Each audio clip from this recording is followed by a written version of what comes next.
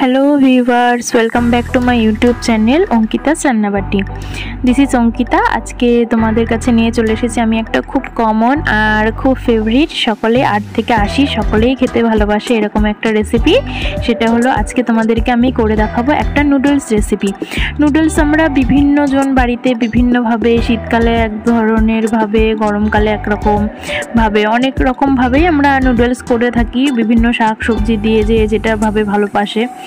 রেস্টুরেন্টে অন্য একভাবে রান্না হয়। তো আজকে আমি তোমাদেরকে একদম ইউনিক স্টাইলের একটা নুডলস রান্না করে দেখাবো, যেটা সাধারণত কেউ এভাবে রান্না করে না। আমার মতো করে তোমরা একবার রান্না করো, অবশ্যই তোমাদেরও ভালো লাগবে। আমি রান্নার জন্য এখানে প্রথমে তেল নিয়ে সেখানে কিছু আদা কুচি, রসুন কুচি আর লঙ্কার কুচি করে, সবুজ লঙ্কা মানে কাঁচা লঙ্কা যেটা কুচি করে আমি ভালোভাবে তেলে সেটাকে আগে ভেজে নিচ্ছি। আমি এটাকেই ফোড়ন হিসেবে ব্যবহার করব, আর কিছু আমি দেব না। এবার আমি ভালোভাবে নাড়াচাড়া করে এগুলোকে আমি একবার করে ভেজে নেব দু থেকে তিন মিনিট মিডিয়াম ফ্লেমে। তোমরা অবশ্যই এইভাবে একবার নুডলসটা করে দেখবে, খেয়ে দেখবে, এটা অত্যন্ত সুস্বাদু হয় আর খুব হেলদি হয়। একদম বেশি তেলে আমি নুডলস করব না। কীভাবে অল্প তেলে একদম ঝরঝরে রেস্টুরেন্টের মতো হয় দেখতে, সেইভাবে আমি আজকে তোমাদেরকে নুডলসটা করে দেখাবো। তোমরা সবাই কিন্তু নুডলসটা এভাবে করে খেয়ে আমাকে জানাবে, এটা কেমন লাগল। আর আমার এই রেসিপিটা যদি তোমাদের ভালো লাগে, তাহলে অবশ্যই আমার চ্যানেলটা কিন্তু সাবস্ক্রাইব করে দেবে। এর মধ্যে আমি এবার দিয়ে দিচ্ছি আলু। আমি এখানে আলু আলু ভাজা আমরা যেরকমভাবে খাই, বাড়িতে তেল, নুন, হলুদ দিয়ে ভেজে সেইভাবে আমি এখানে আলু কেটে নিয়েছি। তোমরা শীতকালে হলে এখানে প্রচুর টাইপ সবজি পাওয়া যায় বাট এখন তো অত সবজি অ্যাভেলেবেল নেই। তাই আমার ঘরে যে সমস্ত সবজি এখন অ্যাভেলেবেল আছে, সেগুলো দিয়ে আমি তোমাদেরকে করে দেখাবো। আমি তার জন্য এখানে প্রথমে আলুটাকে ভেজে নিচ্ছি। এবার আমি এর মধ্যে অ্যাড করে দেব সামান্য পরিমাণ হলুদ। আমি এই রান্নাতে বেশি হলুদ ব্যবহার করব না। সামান্যই হলুদ ব্যবহার করব, যেরকমটা রেস্টুরেন্টে থাকে। আর দিয়ে দেব স্বাদ অনুযায়ী কিছুটা লবণ।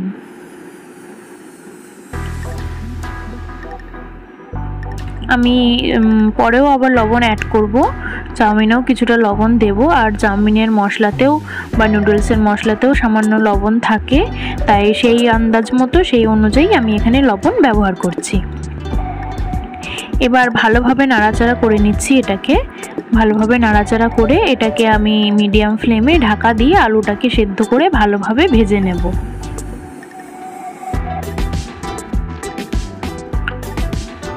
এবার আমি দু থেকে তিন মিনিট অপেক্ষা করব আলুটাকে ভালোভাবে ভেজে নেওয়ার জন্য।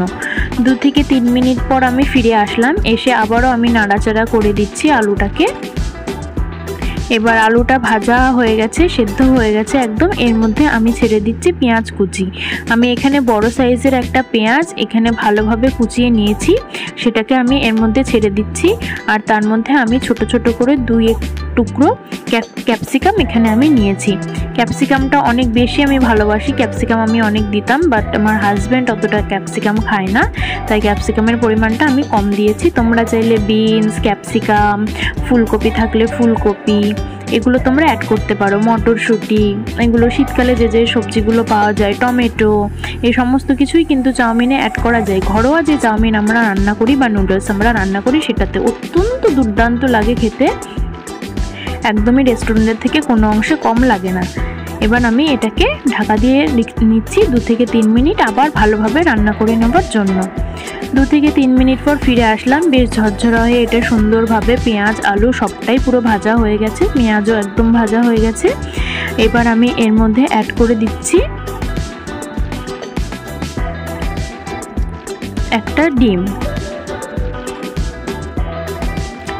তারপরে আমি আবারও অ্যাড করে দেব আরেকটা ডিম। আমি এখানে ডাবল ডিম ব্যবহার করেছি। তোমরা তোমাদের প্রয়োজন অনুযায়ী ব্যবহার করবে, পরিমাণ অনুযায়ী।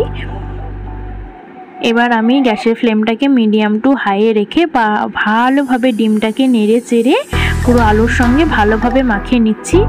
যতক্ষণ না পর্যন্ত এটা একদম ঝরঝরা হয়ে গুঁড়ো গুঁড়ো হয়ে যাচ্ছে ডিমের টুকরোগুলো, ততক্ষণ পর্যন্ত ভালোভাবে এটাকে আমি নাড়তেই থাকব।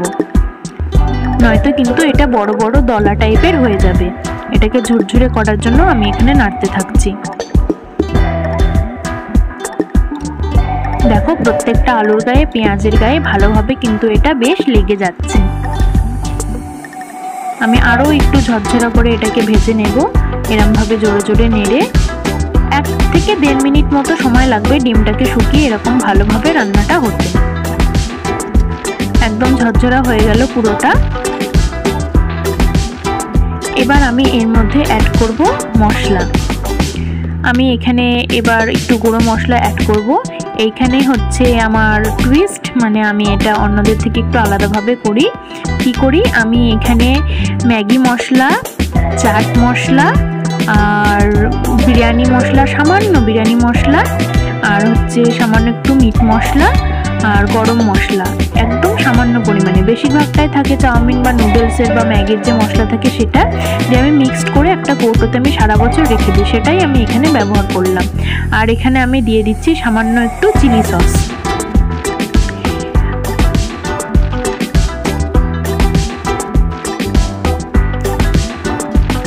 এবার আমি গ্যাসের ফ্লেমটাকে মিডিয়ামে রেখেছি। সামান্য অ্যাড করে দিলাম এখানে সয়া সস সয়া সস কিন্তু খুব বেশি পরিমাণে দিলে খাবারের টেস্ট নষ্ট হয়ে যায়। আপনারা সবসময় আন্দাজ করে প্রয়োজন অনুযায়ী দেবেন। আমি এখানে ফাইভ এম মতো ব্যবহার করলাম। আর এখানে আমি অ্যাড করে দিলাম কিছুটা টমেটো কেচাপ আমি যখন সার্ভ করব নুডলসটা তখনও আমি টমেটো কেচাপ দিয়েই সার্ভ করব। বাট এখন যদি আমি এই মশলাটা তৈরির সময় বা এই যে আলু ভাজার সঙ্গে এই মশলাগুলো আমি ভালোভাবে মাখিয়ে নিই, তাহলে চাউমিনের টেস্টটা বা নুডলসের টেস্টটা আরও বেশি ইনক্রিজ হয়। এবার আমি এখানে অল্প অল্প করে নুডলসগুলো এর মধ্যে অ্যাড করছি। আমি কিন্তু এখানে খুব বড় বড় যেরকম দোকানে থাকে রেস্টুরেন্টে ভীষণ বড় বড় ওরা ছেড়ে ছেড়ে না বা ভেঙে যায় না ওদের নুডলসগুলো সেরকম রাখে। সেরকমভাবেও করা যায়, কিন্তু আমি আজকে নুডলসগুলোকে এইভাবে একটু, আমি যেভাবে, যখন এইভাবে রান্নাটা করি, এই রেসিপি অনুযায়ী, তখন আমি নুডলসগুলোকে ছিঁড়ে এরকম ছোট টুকরো করে নিই। তাহলে এর ফ্লেভারটা অনেক বেশি ভালো আসে। মানে এক একটা নুডলসের গায়ে খুব ভালোভাবে মশলাটা মাখে আর সমস্ত মশলার ফ্লেভারটা সুন্দরভাবে আসে। তোমরা নিজেই দেখতে পাবে রান্নার শেষ পর্যন্ত কতটা ভালোভাবে নুডলসের গায়েও মশলাগুলো সুন্দরভাবে লেগে যায়। তাই তোমরা চাইলেও একটু খুব ছোট না করলেও একটু ছোট করে ভেঙে নিতে পারো নুডলসগুলোকে সেদ্ধ করার আগে। আমি সামান্য জলে জল জল গরমের মধ্যে সামান্য লবণ দিয়ে আমি নুডলসগুলোকে সেদ্ধ করে নিয়েছিলাম। যাতে একবারে গায়ে গায়ে লেগে গলে না যায়, সেরকম পজিশনে এটাকে নামিয়ে নিয়েছিলাম। দিয়ে জল ঝরিয়ে একটা ঝুড়িতে আমি এটাকে রেখে দিয়েছিলাম। এবার ভালোভাবে নাড়াচাড়া করে বারবার আমি নুডলসগুলোকে পাঁচ থেকে ছ মিনিট এর মধ্যে ভাজবো। কোনো রকম তেল আমি এর মধ্যে অ্যাড করছি না। আমি এখানে অ্যাড করে দিচ্ছি শুধু সামান্য সয়া সস আমি প্রথমে five M L soya sauce ব্যবহার করেছি, আর এখানেও আমি ফাইভ এম এল সয়া সসই ব্যবহার করলাম। আর এখানে নুডলস নিয়েছি আমি মোটামুটি দুজনের ফুল প্লেটের মতো। যতটা পরিমাণ হয় সেরকম। রেস্টুরেন্টে যেরকম দুজনের ফুল প্লেট দেয় ততটা পর্যন্ত নিয়েছি এবার আমি যে মশলাটা তৈরি করে রেখেছিলাম, যেটা আলু ভাজার সময় সামান্য দিলাম, এবার ওই মশলাটা আমি একটু একটু করে এর মধ্যে পুরোটা অ্যাড করব আর একটু একটু করে নাড়াচাড়া করব। আবারও আমি একটু করে দিয়ে মশলা দিয়ে দেব আর একটু একটু করে নুডলসটা নাড়াচাড়া করব। এভাবে করব তাহলে সব দিকে সব জায়গায় সমস্ত নুডলসের গায়ে সুন্দরভাবে মশলাটা মেখে যাবে একবারে এক জায়গায় ভুল করেও আমি দেব না কিন্তু, তাহলে কোনো জায়গায় মশলা বেশি থাকবে বা কোনো জায়গায় কিন্তু কম হয়ে যাবে। এবার আমি এইভাবে এটাকে নাড়াচাড়া করে নিচ্ছি বারবার। তোমরা অবশ্যই এভাবে একবার নুডলস বানিয়ে দেখবে। এটাকে, এটার মধ্যে চিকেনও দেওয়া যায়, মাটনও দেওয়া যায়। যেভাবে তোমরা খুশি, এটার মধ্যে অনেক কিছু দিয়ে অ্যাড করে তোমরা কিন্তু এই রেসিপিতে নুডলস বানাতে পারবে। এটা একদমই হেলদি বেশি তেলও লাগে না আর অত্যন্ত দারুণ লাগে। আমার তো ফ্যামিলির সবাই এটা খুব ভালোবাসে ঠিক এই রেসিপিতে খেতে। এবার আমি এর মধ্যে কিছুটা কালো জিরে সরি এর মধ্যে আমি কালো গোলমরিচ বা ব্ল্যাক পেপার যেটাকে বলে, সেটাকে আমি এর মধ্যে সামান্য অ্যাড করে দিচ্ছি।